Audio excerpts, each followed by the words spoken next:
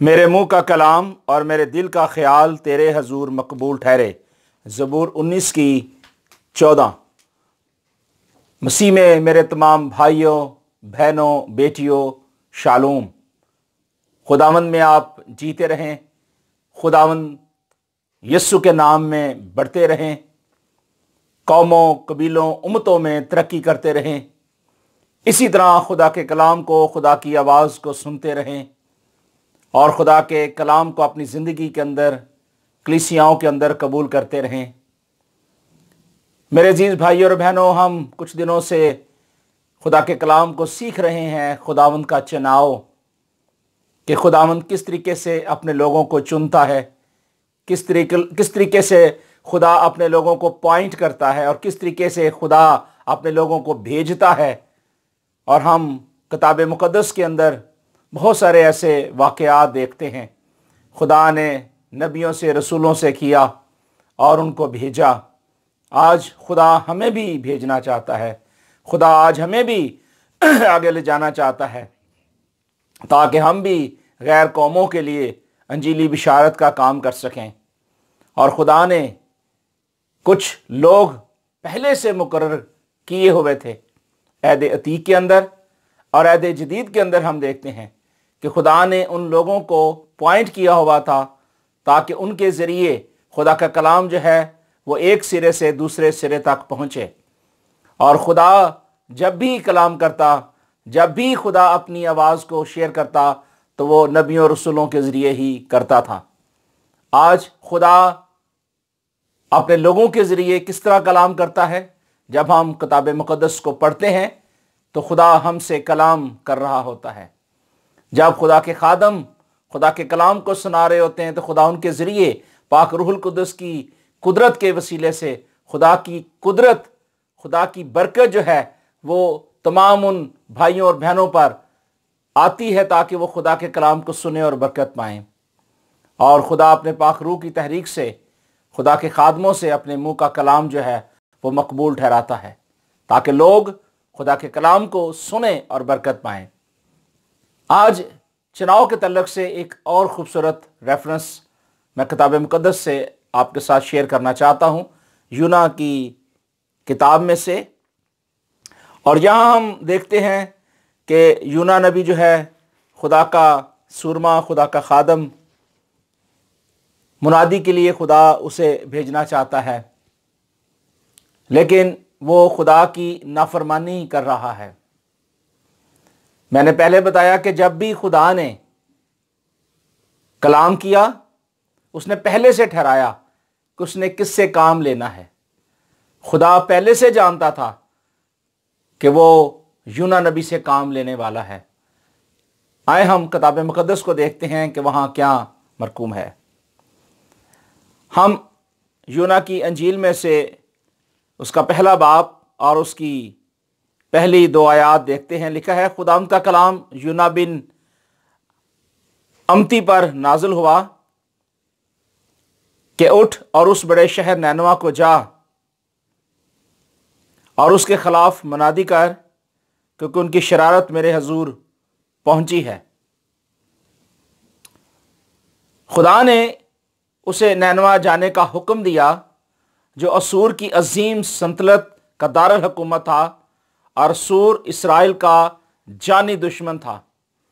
یونا خدا کا پیغام لے کر وہاں جانا نہیں چاہتا تھا۔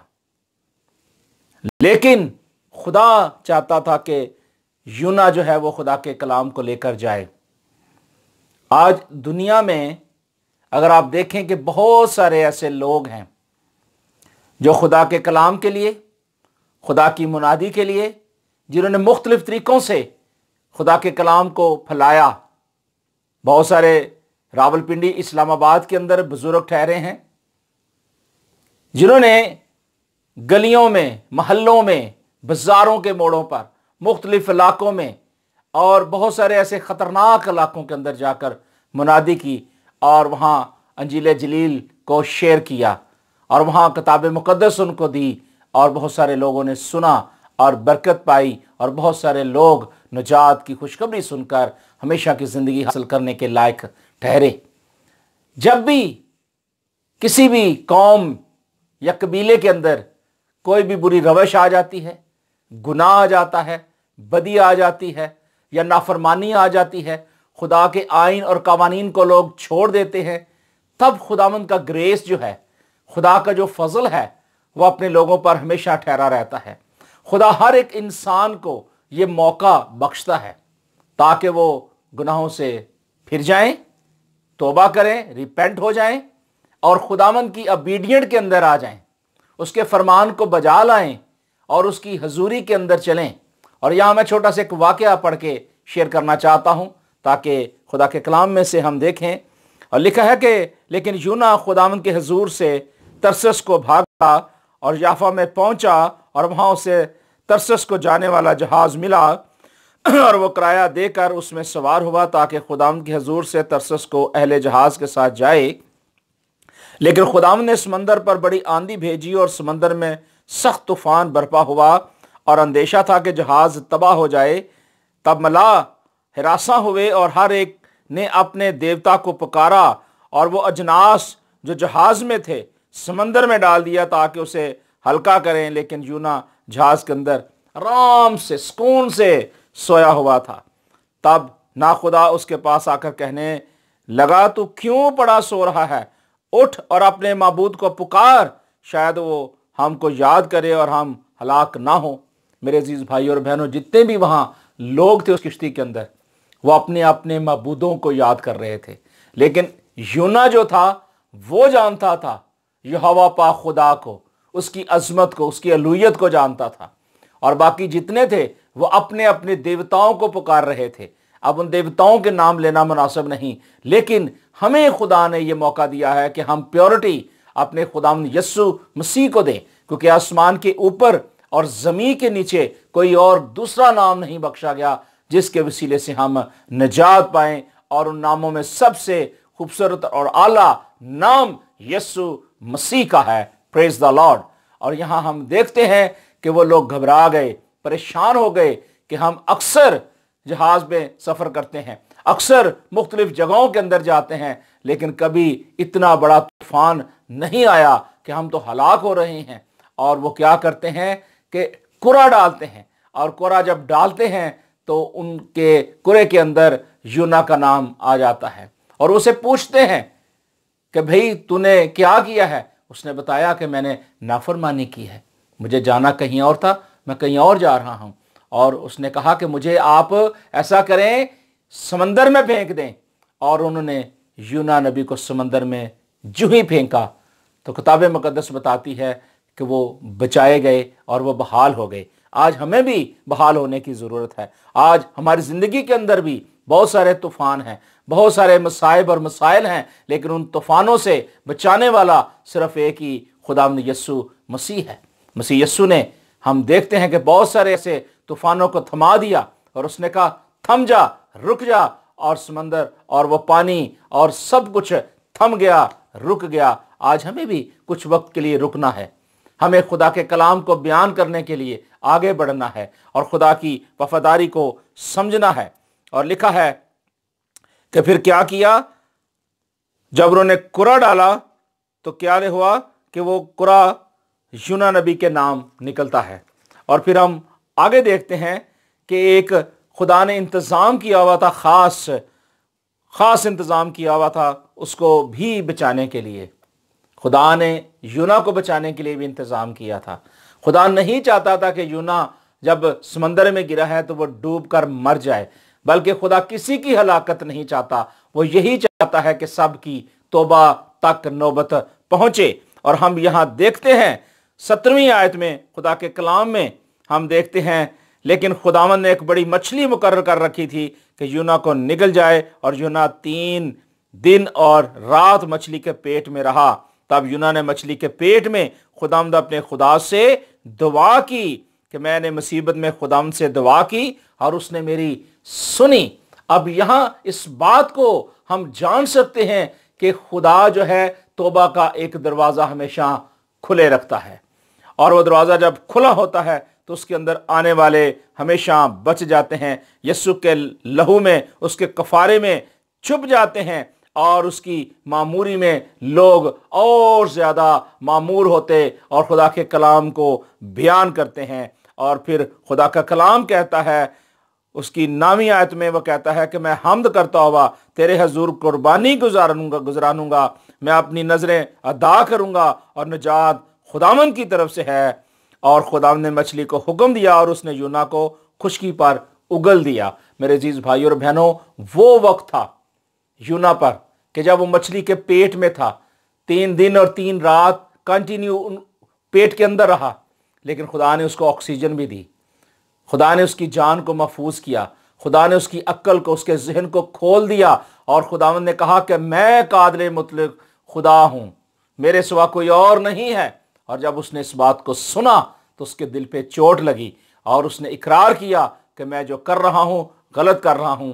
اور اس نے اقرار کیا کہ یسو مسیح نجات دینے والا ہے۔ اور جب اس نے دعا کی تو پھر اس کی دعا جب خدا نے سنی تو خدا نے اسے کیا کیا؟ اسے بحال کر دیا اور اس مچھلی نے پھر باہر آ کر اسے اگل دیا۔ میرے عزیز بھائی اور بہنوں، یہ وہ یونا ہے کہ جو نہ فضا پہ ہے، نہ زمین پہ ہے، بلکہ پانی میں ہے، درمیان میں ہے اور پانی جو ہے وہ صاف کرتا ہے، گندگی کو دھوتا ہے، پانی ہمیں کلین کرتا ہے۔ اور خدا کے کلام میں ہسکر کی کتاب میں بھی لکھا ہوا ہے کہ وہ اپنا پانی ڈیلتا ہے اور ہماری ساری گندگی کو پلیتگی کو دور کرتا ہے اور جب وہ ہم پر صاف پانی چھڑکتا ہے تو پھر کیا ہوتا ہے؟ ہماری زندگی کے اندر بحالی، ترقی اور خوشحالی آتی ہے۔ میرے عزیز بھائی اور بہنوں، جب یہ ملا جو تھے، وہ سوچ رہے تھے کہ یہ کون سا شخص ہے؟ یہ کون شخص ہے؟ اور یہ کہاں سے آیا ہے؟ یونا تو وہ پریشان ہو گئے۔ آج ہم بھی کئی بار مختلف خدام کو دیکھ کر پریشان ہو جاتے ہیں کہ یہ کہاں سے آیا ہے، کہاں سے آیا ہے۔ ہم مختلف سوالات، مختلف انگلیاں اٹھانے کی کوشش کرتے ہیں۔ ان کی ٹانگیں کھینچنے کی کوشش کرتے ہیں، لیکن ہمیں ٹانگیں کھینچنے کی بجائے اگر ہم ان کے ہاتھ پکڑ کر باہر کی طرف لیں اس سمندر سے باہر نکال دیں، تو کیا ہوگا؟ بحالی آئے گی، نجات آئے گی۔ قومیں اور قبیلے جو ہیں، وہ برکت پائیں گے اور لوگ بحال ہوں گے۔ تو آج ضروری ہے کہ ہم خدا کے کلام کو، خدا کی باتوں کو، خدا کے کلام میں سے سیکھیں، سمجھیں اور جانیں۔ میرے عزیز بھائی اور بہنوں، ایک اور حوالہ میں آپ کے ساتھ شیئر کرنا چاہتا ہوں۔ اور یہ ہے دوسرا سلاطین کی کتاب، اور اس کا چوتھا باپ ہے۔ اور اس کے اندر ہم دیکھتے ہیں کہ خدا کے کلام کے اندر لکھا ہے کہ علیشا اور سنومی ایک مالدار بیوہ تھی۔ اور شنومی کا ایک بہت بڑا یہاں واقعہ درج ہے۔ اور شنومی عورت کا کوئی فرزند نہیں تھا۔ اور اس کا شوہر جو تھا بوڑھا ہو چکا تھا۔ اور بزرگی کی وجہ سے، بڑھاپے کی وجہ سے شاید وہ یہ سوچ رہی ہو کہ شاید ناممکن بات ہے۔ خدا تو پتھروں میں سے سب کچھ مہیا کر سکتا ہے۔ خدا نے ابراہم کو برکت دی ہے۔ خدا ہر انسان کو برکت دینے کے لیے تیار رہتا ہے۔ اور خدا ہر ایک شخص کی زندگی کے اندر کوئی نہ کوئی روزن جو ہے وہ کھلا رکھتا ہے۔ اب ضرورت ہے کہ ہم اس روزن کو جاننے کہ وہ روزن کیا ہے، وہ سوراخ کیا ہے۔ جب ہم اس کو جانیں گے تو پھر ہم برکت پائیں گے۔ اور یہاں ہم دیکھتے ہیں شنیمی عورت کے بارے میں لکھا ہے، اس کی چودھویں آیت میں۔ لکھا کہ پھر اس نے کہا کہ اس لیے کیا کیا جائے؟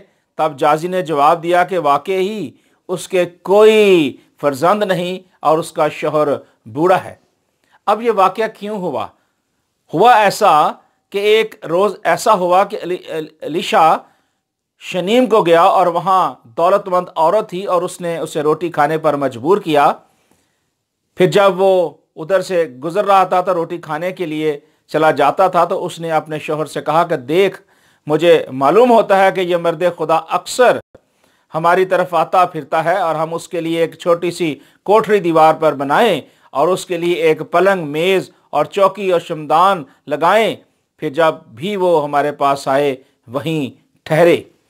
شنومی عورت جو ہے، وہ اس بات کو سمجھتی تھی، جانتی تھی کہ یہ مرد خدا ہے۔ اس کے اندر ایک قوت تھی۔ اور آج بھی ہم دیکھتے ہیں کہ بہت سارے لوگ جب خدا کا نام لیتے ہیں اور یسو مسیح کے نام سے حکم دیتے ہیں بیماریوں کو، کمزوریوں کو، تو وہ نکل جاتی ہیں۔ اور بہت سارے لوگ بیمار ہوتے ہیں وہ یسو کے نام میں شفا پاتے ہیں۔ بے اولاد، جب یسو کے نام میں دعا کرتے ہیں، تو خدا ان کی سنتا ہے، خدا ان کو بحال کرتا ہے۔ اور یہاں ہم بھی دیکھتے ہیں، کتاب مقدس میں سے اس کے تعلق سے لکھا ہے۔ اس کی سولہویں آیت میں کتاب اس نے کہا علیشا نے کہا، کیونکہ ایک خاص بات، اور وہ یہ تھی کہ خدا اپنے کام کرنے اور کرانے جانتا ہے۔ اور یہ خدا کی الوحیت کو ظاہر کرتی ہے۔ خدا کی یہ جو مرضی ہے، اس کو بھی ہمیں سمجھنے کی ضرورت ہے کہ خدا ہر ایک کام جو جو انسان کی نظر کے اندر ناممکن ہوتا ہے، وہ خدا ممکن کرتا ہے۔ اور یہاں لکھا ہے کتاب اس نے کہا کہ موسم بہار میں وقت پورا ہونے پر تیری گود میں بیٹا ہوگا، وہ پروفیسی کرتا ہے علیشا۔ اور اس نے کہا، نہیں ہے میرے مالک، اے مرد خدا، تو اپنی لونڈی سے جھوٹ نہ کہہ سو وہ عورت حاملہ ہوئی اور جیسا علیشا نے اس سے کہا تھا، موسم بہار میں وقت پر یہ واقعہ ہوا اور لکھا کہ موسم بہار میں وقت پورا ہونے پر اس کے بیٹا ہوا۔ اور پھر کیا ہوتا ہے کہ جب وہ لڑکا بڑھتا ہے، جوان ہوتا ہے، اور ہم دیکھتے ہیں کہ اس کی عمر تقریباً سات سال سکولر بتاتے ہیں کہ تقریباً سات سال تھی۔ اور لکھا کہ جب وہ لڑکا بڑا تو ایک دن ایسا ہوا کہ اپنے باپ کے پاس کھیت کاٹرے میں چلا گیا اور اس نے اپنے باپ سے کہا، ہائے میرا سر، ہائے میرا سر. یعنی اس کی طبیعت خراب ہو گئی اور وہ ایسا ہو گیا کہ اتنا کمزور ہو گیا کہ جو واقعہ ہمیں بیان کرتا ہے کہ وہ مرنے کے قریب تھا۔ اور یہاں ہم دیکھتے ہیں کہ کچھ وقت کے بعد ہم دیکھتے ہیں کہ کیا ہوا، اس کی بیسویں آیت میں لکھا کہ اس نے اس کی ماں کے پاس پہنچایا تو وہ اس کے گھٹنوں پر دوپہر تک بیٹھا رہا اور اس کے بعد مر گیا۔ تب اس کی ماں نے اوپر جا کر اسے مرد خدا کے پلنگ پر لٹا دیا اور وہ دروازہ بند کر کے باہر چلی گئی۔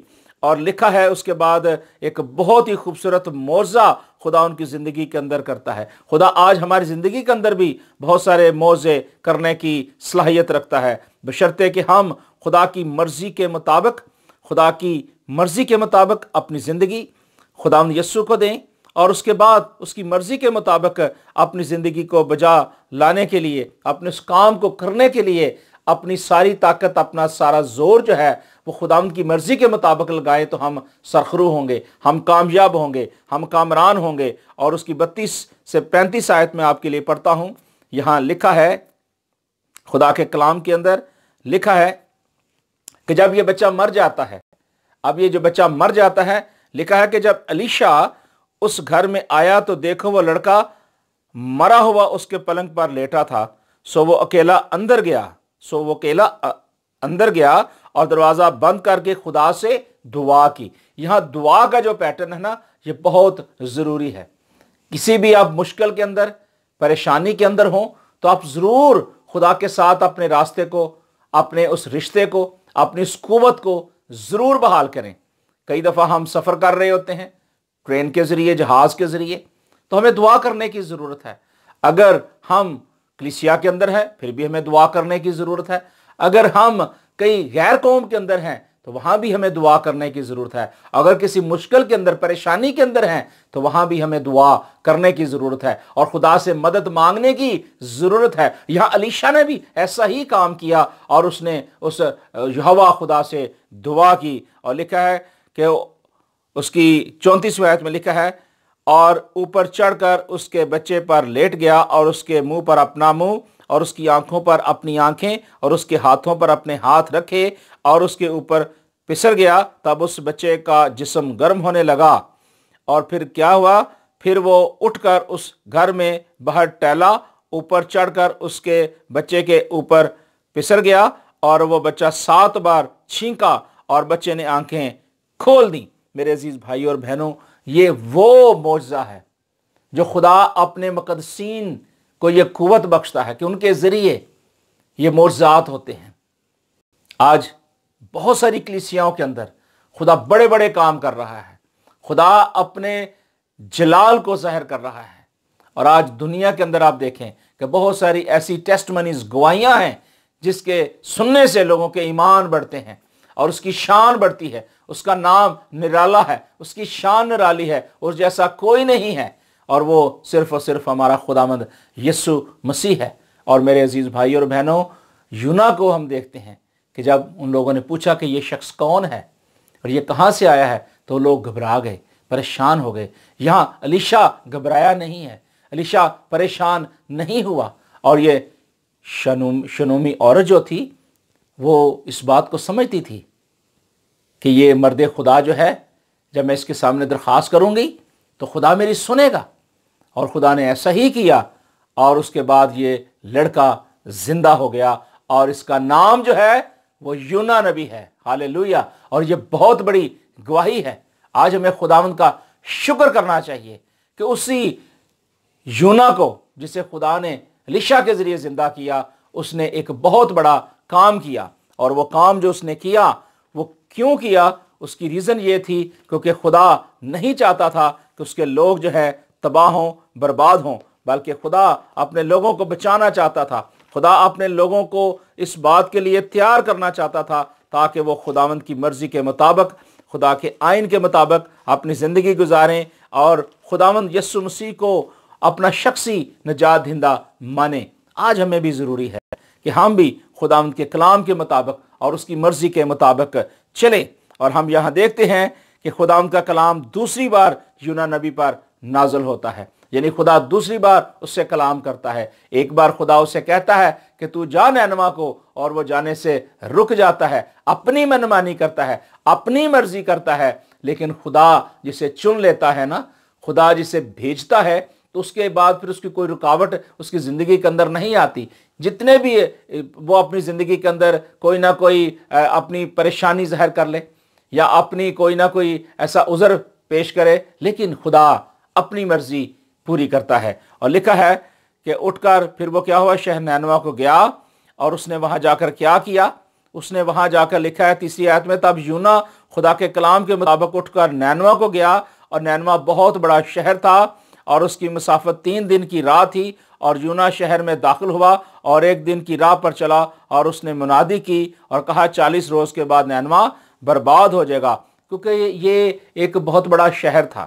اور اس کے اندر بہت سارے لوگ تھے اور اس کی آبادی جو تھی ایک لاکھ بیس ہزار سے زیادہ تھی، تو بھی یہ علاقہ اس کے مطابق جہاں خدا اپنی مرضی چاہتا تھا، اپنی مرضی چاہتا تھا، وہ خدا نے پوری کی۔ لیکن انسان کی جو ارادہ ہے، انسان کی جو مرضی ہے، وہ جب اپنی مرضی کرتا ہے، تو اس مرضی کے مطابق وہ ہلاکت ہلاکت ہلاکت اپنے لیے نکالتا ہے۔ اس کے لیے راستوں کو ہموار کرتا ہے تاکہ خدا کی نافرمانی کے ذریعے وہ ہلاکت کے اندر آئے۔ لیکن خدا ہلاکت سے نکال کر، ہلاکت سے نکال کر زندگی میں لانا چاہتا ہے۔ اور جب خدا نے کہا کہ میں اسے ہلاک کر دوں گا، ان کو مار دوں گا، تو خدا نے اپنے رحم کو، اپنے فضل کو بھی ظاہر کیا۔ اور تب لکھا ہے، تب نینوا کے بشندوں نے کیا کیا؟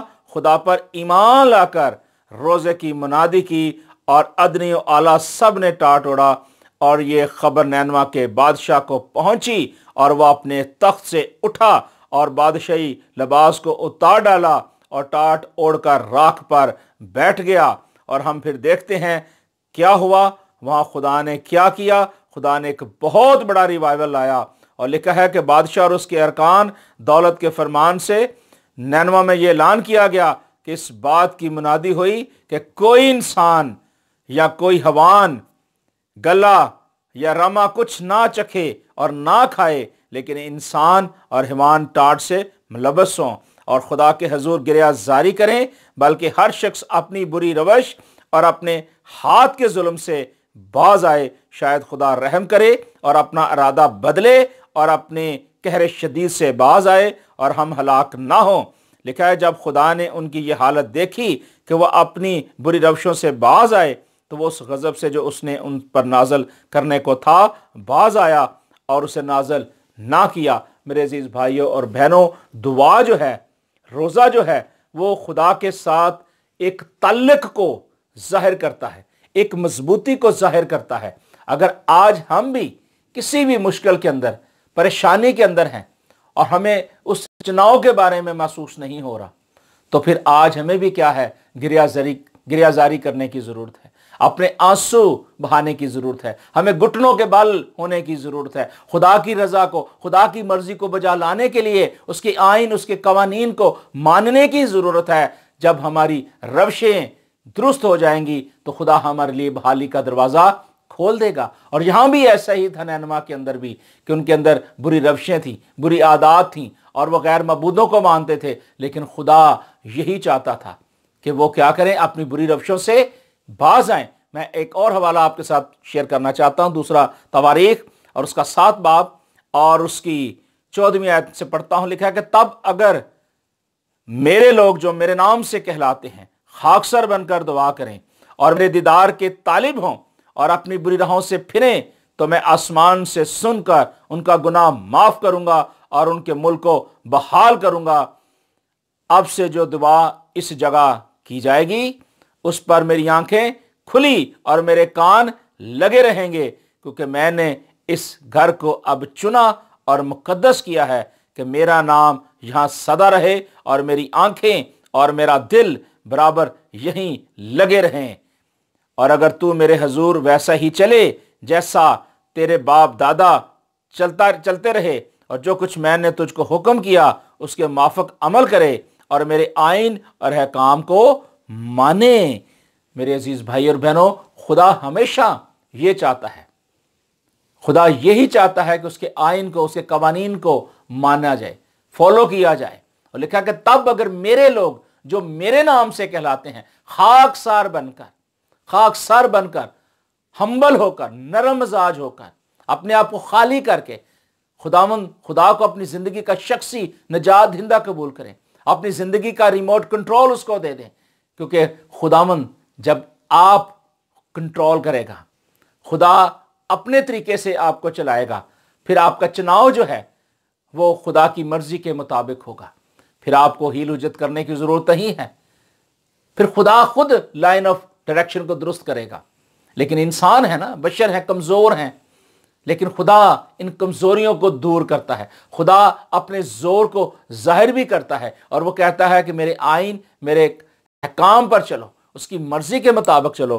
جب ہم خداوند کی مرضی کے مطابق چلتے ہیں، خداوند کی مرضی کے مطابق اپنے آپ کو پیش کرتے ہیں، تو پھر خدا جو ہے، کیا کرتا ہے؟ خدا ہمیں بحال کرتا ہے۔ خدا ہمیں ان بری روشوں سے نکال کر ہمیشہ کی زندگی کے اندر لے کے آتا ہے، جہاں پاکیزگی ہوتی ہے، جہاں نافرمانی نہیں ہوتی، جہاں گناہ نہیں ہوتا، جہاں بدی نہیں ہوتی، بلکہ خداوند کی وفاداری اور تابع داری ہوتی ہے۔ اور عزیزو، آج خدا یہی چاہتا ہے، خدا یہی چاہتا ہے کہ اس کے لوگ جو ہیں زندہ رہیں، اس کی مرضی کے مطابق چلیں اور خداوند کی مرضی کے مطابق جو ہے عمل کر سکیں۔ اور زبور ایک سو انیس، اس کی ایک سو ایک آیت میں لکھا ہے کہ میں نے ہر بری راہ سے اپنے قدم روک رکھے ہیں تاکہ تیری شریعت پر عمل کروں۔ اگر آج ہم اپنے قدموں کو روک لیں گے، نہ ہم دہنے مڑیں گے، نہ بائیں مڑیں گے، بلکہ اپنے راستے کو ہموار بنائیں گے امثال کی کتاب میں لکھا ہے کہ تو نہ دہنا موڑ، نہ بائیں، بلکہ اپنے پاؤں کے راستے کو ہموار بنا۔ آئے ہم خدامت کے آئین کو خدامت کے قوانین کو اپنی زندگی کے اندر اپلائی کریں۔ اور لکھا ہے زبور ایک سو انیس کی ایک سو چھتیس آیت میں لکھا ہے کہ میری آنکھوں سے پانی کے چشمے جاری ہیں، اس لیے کہ لوگ تیری شریعت کو نہیں مانتے۔ آج افسوس کے ساتھ ہمیں یہ کہنا پڑتا ہے کہ لوگ خداوند کے آئین کو خداوند کے قوانین کو، اس کی مرضی کو چھوڑ چکے ہیں۔ لیکن ہمیں ضروری ہے کہ ہم خداوند کی مرضی کے مطابق، خداوند کی مرضی کے مطابق اپنی زندگی خداوند کو دیں۔ اور یہاں پھر ہم دیکھتے ہیں کہ خدا نے بہت بڑا کام کیا۔ یونا کی زندگی کے اندر کام کیا۔ اور خدا نے کیا کلام کیا؟ میں آپ کے لیے پڑھنا چاہتا ہوں۔ چار باپ کی نامی آیت میں لکھا ہے، اور خدا نے یونا سے فرمایا، خدا کی نظر میں برائی کی ہے، لیکن خدا برائی میں سے بھلائی نکالتا ہے۔ اور یہاں جس بیل کے بارے میں ذکر ہے، اس کے بارے میں اس نے کہا کہ یہ کدو کی بیل اگی اور پھر اس کے بعد کیا ہوا؟ خدا نے ایک کیڑا مقرر کیا۔ اور کیڑے نے کیا کیا؟ اس کو سکھا دیا۔ خدا کہتا ہے، خدا کہتا ہے کہ اس بیل کا تجھے اتنا خیال ہے کہ جس کے لیے تو نے نہ کچھ محنت کی، نہ اسے اگایا، اور جو ایک ہی رات میں اگی اور ایک ہی رات میں سوکھ گئی، کیا مجھے لازم نہ تھا؟ کہ میں اتنے بڑے شہر نینوا کا خیال کروں جس میں ایک لاکھ بیس ہزار سے زیادہ ایسے ہیں جو اپنے دہنے اور بائیں ہاتھ میں امتیاز نہیں کر سکتے اور بے شمار مویشی ہیں، جانور ہیں۔ تو خدا تو انسانوں کے علاوہ جانوروں کا بھی خیال کرتا ہے۔ خدا آج میرا اور آپ کا بھی خیال کرتا ہے۔ خدا ہر ایک اس نسل انسانی کا خیال کرتا ہے۔ دنیا میں بہت سارے چرند ہیں، پرند ہیں، بہت ساری چیزیں ہیں، لیکن خدا سب سے زیادہ اپنے لوگوں سے پیار کرتا ہے۔ جو توبہ کرتے ہیں، اقرار کرتے ہیں، بپتسمہ لیتے ہیں اور خداوند کی حضوری کے اندر، خداوند کی معموری کے اندر معمور ہوتے چلے جاتے ہیں۔ اور کتاب مقدس میں لکھا ہے کہ روح سے معمور ہوتے جاؤ، آپس میں مضامور گیت اور روحانی غزلیں گایا کرو۔ دل سے خداوند کے لیے گاتے، بجاتے، رہا کرو، یہی تعلیم ہے۔ آج ہمیں بھی سوچنے کی ضرورت ہے کہ اگر یونا نبی نے خدا کی نافرمانی کی، گو کہ خدا نے اسے پوائنٹ کیا تھا، چنا تھا کہ یہ میری مرضی کے مطابق کام کرے اور جب اسے ٹھوکر لگتی ہے تو پھر وہ اقرار کرتا ہے کہ ہاں خداوند مجھے ایسا ہی کرنا ہے اور اس نے ایسا ہی کیا اور خدا نے سب کچھ بحال کر دیا۔ خدا آج آپ کی زندگی کے اندر بھی بحالی کا دروازہ کھولنا چاہتا ہے۔ خدا آج آپ کو بھی دعوت دیتا ہے۔ وہ کہتا ہے کہ سونے والے جاگ اور مردوں میں سے جی اٹھ تو خدا کا نور تم پر چمکے گا۔ آج ہم دعا کرتے ہیں کہ خدا آپ کی زندگی کے اندر اپنے نور کو، اپنی اس بلیسنگ کو شیئر کرے۔ کیونکہ خدام فرماتا ہے خدام فرماتا ہے کہ میں اس لیے اس دنیا میں آیا تاکہ جو کوئی ہر کوئی شخص چاہے وہ کسی بھی قوم قبیلے سے تعلق رکھتا ہے، آئے خدا ان کی حضوری میں آئے تو خدا اسے کیا کرے گا؟ نجات دے گا، مخلصی دے گا، بحال کرے گا۔ آئے، ہم بھی اپنی زندگیاں اپنے مالک خدا یسو کو دیں۔ توبہ کریں، اقرار کریں، بپتسمہ لیں اور اس کی راہ کو سمجھیں، کیونکہ راہ حق اور زندگی خدا یسو مسیح ہے۔ اپنی زندگی کے اندر ایسا چناؤ کریں جو خدا کی مرضی کے مطابق ہو، اس کے آئین اور اس کے قوانین کے مطابق ہو۔ میں آپ کے لیے دعا کرتا ہوں، زندہ آسمانی باپ یسو کے نام میں تیرا شکر اور تیری تعریف کرتے ہیں کہ مالک خداون تیرا کلام جو ہماری راہ کے لیے روشنی اور قدموں کے لیے چراغ ہے۔ اے مالک خداون تیرا کلام ہماری زندگی ہے، تیرا کلام ہمارے لیے روشنی ہے اور تیرا کلام ہماری زندگی کے لیے بے پناہ قوت کا سے تو نے کلام کیا اور مالک خدا تو نے ہمیں یہ سکھایا، ہمیں بتایا کہ مالک خدا جو تیرا چناؤ ہے، جو تیری مرضی ہے، جیسے آسمان میں پوری ہوتی ہے، اسی طرح زمین میں پوری ہو۔ اے مالک خداون تیرا بندہ یونا نے خداون تیری وفاداری کی اور خدا تیری مرضی کے مطابق خدا خدا جب اس نے جان لیا، سمجھ لیا کہ میں یہ غلط کر رہا ہوں، اس نے توبہ کی تو تو نے اس کو اور اس کے ساتھ ان سارے لوگوں کو بحال کر دیا۔ اس کے لیے ہم تیرا شکر کرتے ہیں۔ آج بھی خدا مند جتنے بھی لوگ آج خدا مند توبہ کرتے ہیں خدا گریازاری کرتے ہیں، اپنی بری روشوں سے باز آتے ہیں، تو مالک خدا تو انہیں بحال کرتا ہے۔ تو اپنے لوگوں کے ساتھ ساتھ چلتا ہے، انہیں زندگی بخشتا ہے، قوت بخشتا ہے اور ان کی زندگی کے اندر بڑے بڑے کام کرتا ہے۔ اے مالک خدا تو اپنے لوگوں کے ساتھ ہو، انہیں بحال کر تاکہ خدا مند جس طرح خدا تو نے اس شنیمی عورت کے ساتھ خدا اس کے بیٹے کو خدا اس دنیا میں لایا اور خدا مرنے کے بعد اسے خدا خدا لیشا کے ذریعے نے زندہ کیا اور مالک خدا آج بہت سارے لوگ جو مردہ ہو چکے ہیں یسو کے نام میں زندگی پائیں اور کثرت کی زندگی پائیں۔ تو ایک ایک بھائی کو، بہن کو